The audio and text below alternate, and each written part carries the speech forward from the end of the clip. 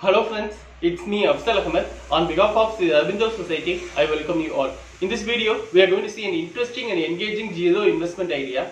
Idea given by Madhya Pradesh state teachers. Idea named Girls Education from Girls Education Health and Safety compiled by Zero Investment Innovation for Education Initiatives.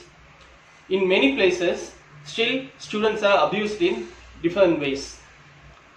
It is necessary of a teacher as well as parent to give safe environment for girls not only at school but also at the home.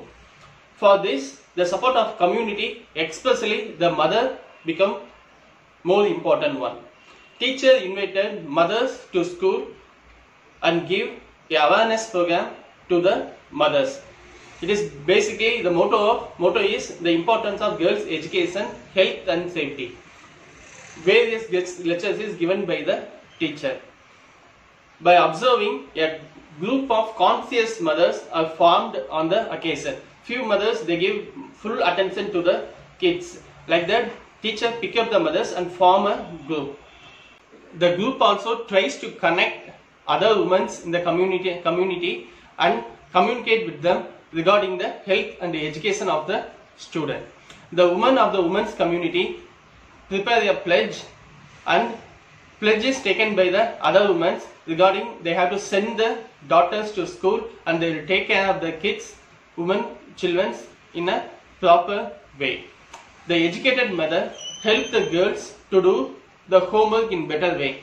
If a girl mother is unable to teach, the other woman teach as a tuition they are handling this with the free of cost they are handling this the cooperation is not limited just to complete the homework it is extended. The student uh, committee are also given information about the like a few mothers are good in embroidering. They teach these skills to students.